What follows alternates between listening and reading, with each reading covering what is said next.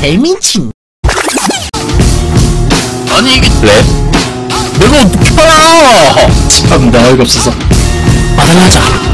아 씨발! 어디 쓰레기 같은 새끼들. 꺼져 쓰레기 같은 새끼들. 너네 아빠 죽었어 임마 느껴지나요? 아씨 뭐하는 거야 지금? 내가 어떻게 알아? 기만가 왜 새끼야! 꺼져.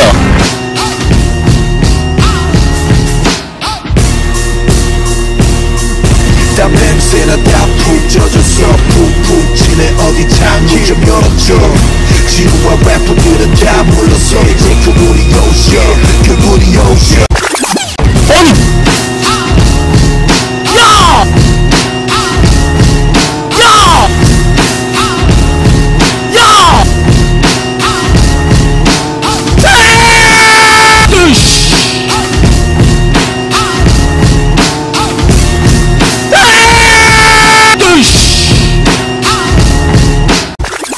으이씨! 꺼져